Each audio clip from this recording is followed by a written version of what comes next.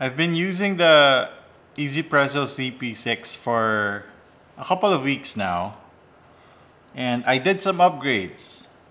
Okay, um, I did put a rubber footing, like a rubber, I don't know how, like at the base of the, at the base of the catch cup.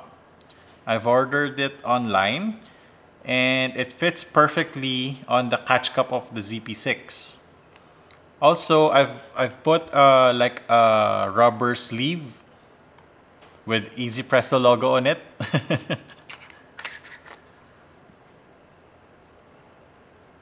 this rubber sleeve came from the EasyPresso Q Air. So today, uh, we're gonna clean the EasyPresso ZP6. I don't know how to do it also, but we're gonna learn today how to clean it. So if you have a ZP6 at home that you haven't cleaned for a while, maybe you can um, join me, clean it step by step. So um, first, of course, we need to remove the crank handle. Wait, let me just get, uh, let's remove the catch cup. Now we're gonna remove the burr. So in order for you to do this, um, you need to set your grinder at a coarser setting so that you can press the burr upwards. So press here. Press here. And then you loosen the, I'm not sure what they call this, but it is, this knot is what you use to um, calibrate your ZP6 to have a perfect zero. There. Next, um, oh, this thing comes off um, loosely, so be careful with that. Okay, and next I think we need to remove the, okay, this one. Nice. This is the this is the actual burr set.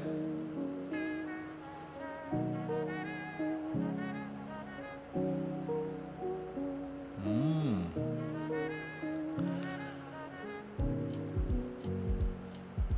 I wonder if it's um, if it's simply pressed fit onto this. But it's nice that you can remove this part so you can clean it. Huh? Because other grinders won't let you remove this part because of the alignment but as we know the ZP6 has a very um, very easy uh, calibration tool attached within the grinder. So yeah. Next is this part. I'm thinking oh Okay, both of the both of these parts, the adjustment ring and the actual burr is um, reverse threaded. So if you want to loosen it, you need to go clockwise. And if you want to tighten it, you need to go counterclockwise. Okay, I think that's it. Um, can we still remove this part?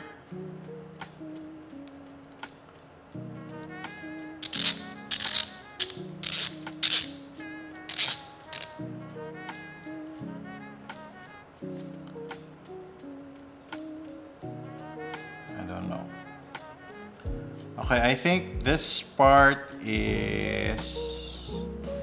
I think we can't remove this part. Alright. We're gonna get some brush and a blower and a blower. Okay, so I think we need a bigger um, bigger towel for this because we're gonna be blowing coffee particles away. Right. So I think I'm I'm most excited to clean this part. Okay, it's it's one piece as well. Oh, diba? Look at the convenience of doing that.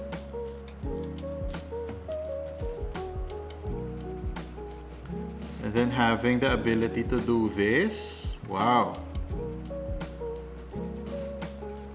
You can actually really clean it thoroughly. That's it.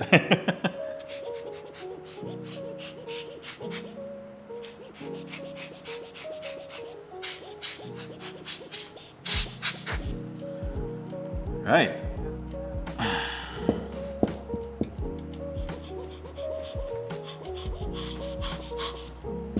Um, the catch cup you can always clean. Ev actually, every after, every after your grind, every after grinding something, you can actually clean it. Okay, I think the best course to deal with the with the adjustment ring dial is to because there is a part here that opens up. Yan. There is a part there that opens up, so you want to clean that as well. Right. So I think the best um, the best way to do this is to turn your dial ring to the coarsest setting so it opens up fully. And then just take a normal regular toothbrush. Then brush along the insides. Yeah, maybe you can also blow, use a blower to clean it.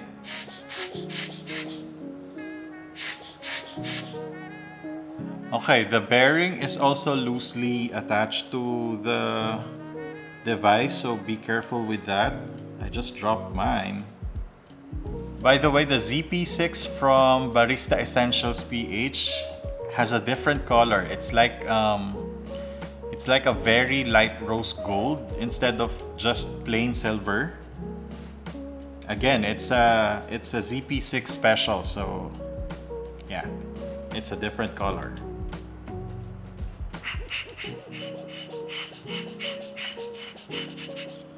Again, when you're cleaning the chamber or the insides of your grinder, be careful not to not to scratch it, especially if you're using a brush like this, like a regular paint brush. Yeah, because it has metal components and metal scratches metal. So just be careful. You don't want to damage your grinder.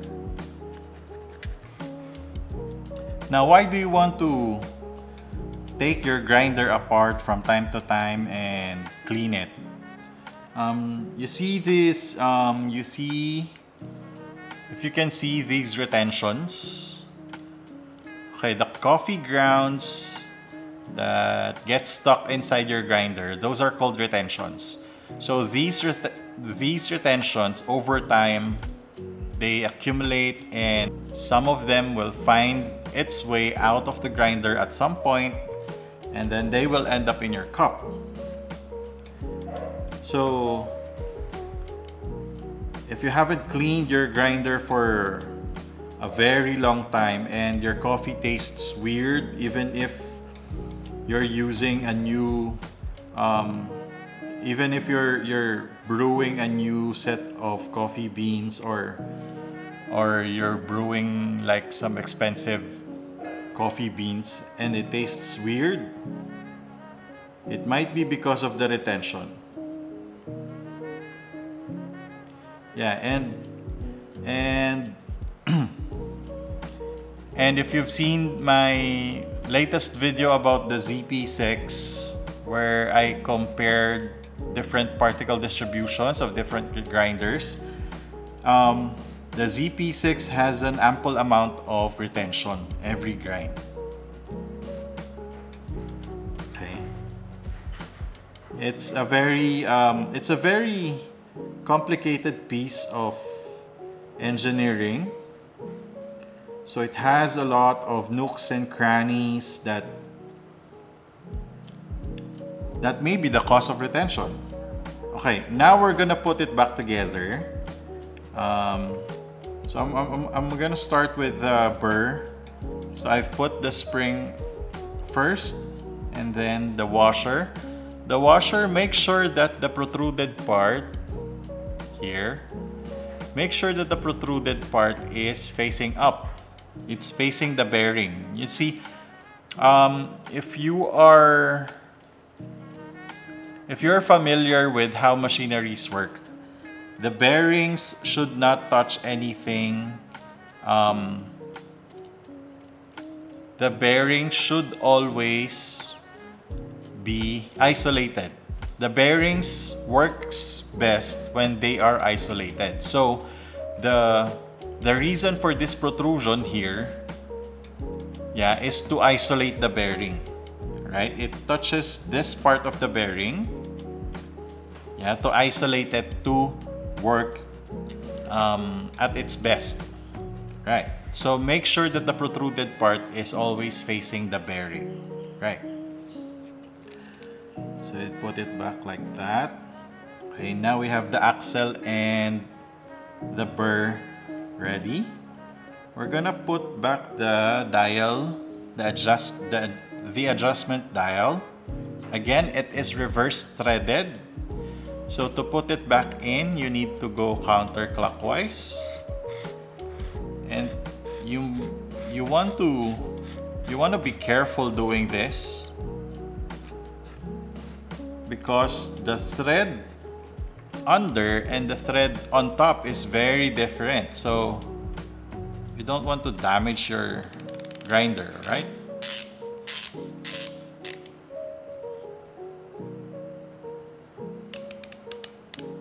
okay make sure that's tight but not too tight. Right, and then we're gonna put the outer burr. Again, it's reverse threaded, be careful. Especially the, the thread for the outer burr is a bit finer than, than the other side. So you, you might want to align it first before trying to turn because you don't want to misthread this part because you're you're gonna damage it right and to tighten this part because it doesn't have any grip um, I'm gonna use a rubber here to hold it and then tighten we're gonna do the same here.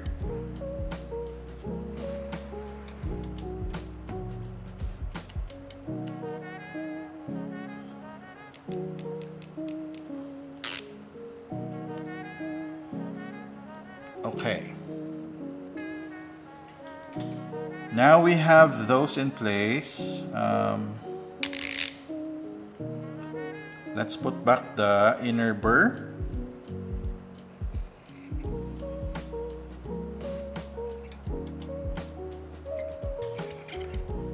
Okay. Then put back the bearing. You might want to clean the bearing also. Because it has some um, coffee deposits in them. There.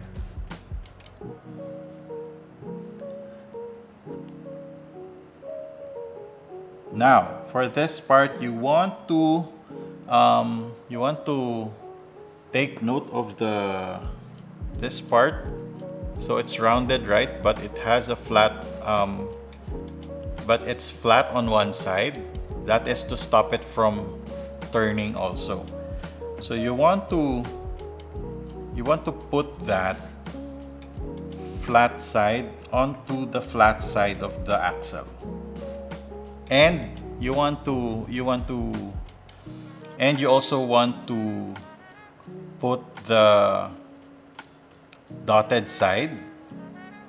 So these these little divots, um, they are the calibration divots for the for the burr, for the axle. Okay, you want to you want to find that flat part first, and then then put it here.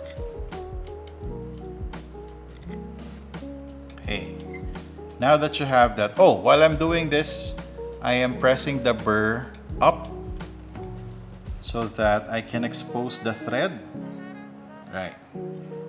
Now while you're pressing the burr up against the spring, you, you want to put the calibration um, nut and then try it again. Okay, now obviously it's not calibrated because we have the red dot way beyond zero. So you want to um, loosen again the setting and then tighten the tighten the calibration ring. Okay, you want to try that again. It's still over.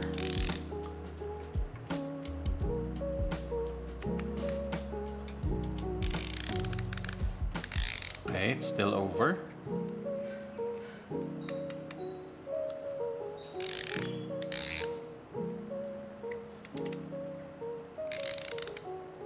Okay, we are two clicks away. So you want to you want to adjust um, at this point when you are two clicks away from zero um, you want you're gonna want to adjust the calibration ring one by one now. It also it also has its clicks okay? So press lightly under. So press your burr lightly under and then let the calibration ring click Okay. And then we're gonna check. Okay, now we are at exactly zero. Um, if you look at the website of EasyPresso, they advise that uh, zero is the first click that zero is the first click that the grinder um, moves, right? So beyond zero, that's negative one. Negative one should be the setting at which the grinder is not moving. But in my case, I want to calibrate it like the Comandante where zero is the part, um, where zero is the setting that from which the grinder is not moving. And then the first click is when the grinder is the first setting that it moves. So if you want to do it like a Comandante as well, you should place the farthest to zero. And, but if you want to follow the if you want to follow the easy EasyPresso calibration, you can do it as well because we can all do different calibrations for our grinders, all right? I'm not saying you should follow my methods, but you can do this, right? So right now I am at exactly zero. The red dot is exactly at zero and I am happy with that calibration. So from this froze. Okay, let me check. One, one. Yeah, that moves. Yeah, all right. So that's it. Um, that is how you clean your EasyPresso ZP6. Um, also, a bit of the calibration, how to calibrate your um, EasyPresso ZP6 after cleaning it and taking it apart and putting it back again. Um, yeah, I hope this video helps. I hope you enjoyed this video. For now, thank you so much for watching. In the next videos, I'm gonna show you more about coffee. Bye!